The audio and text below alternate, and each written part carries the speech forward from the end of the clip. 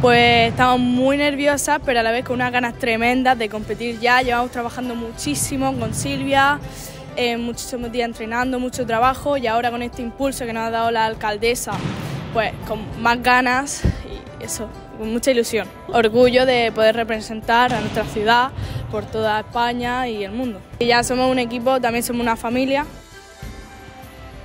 Estamos muy nerviosas todas y queremos hacerlo muy bien. La mejor visita que puede tener una gimnasta, la presidenta y la alcaldesa de Cartagena, la mejor. Nos ha traído la bandera de Cartagena. Sientes felicidad porque estás representando a tu ciudad.